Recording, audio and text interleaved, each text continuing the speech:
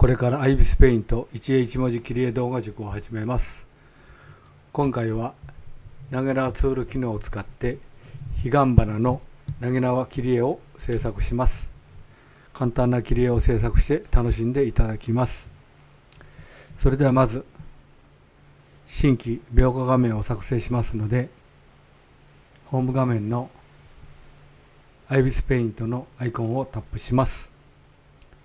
続いてマイギャラリーボタンをタップします。そして右上のプラスのボタンブルーのプラスのボタンをタップして 1024×768 のサイズを選択タップします。そして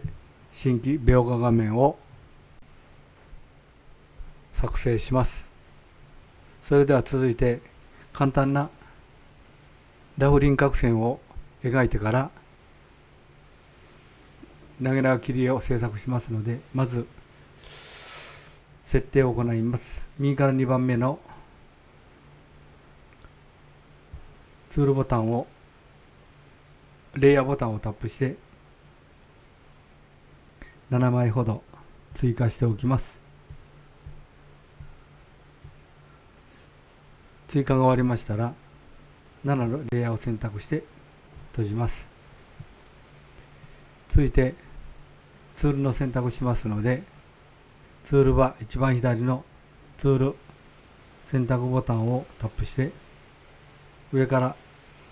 4番目のブラシを選択します。続いてブラシの選択をしますのでツールバー左から2番目の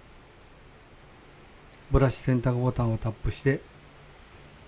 上から2番目の G ペンハードを選択をタップして閉じます。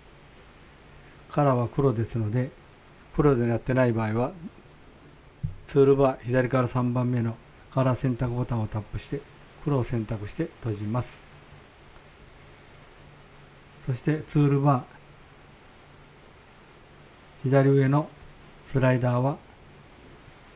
ブラシサイズの2つ太さ調整になっております。左へ行くと細くなります。右へ行くと太くなりますので描く状況に合わせて設定してください。続いて右側のスライダーは不透明度ですので一番左の一番右の方に100%にしておいてください。左が薄くなります。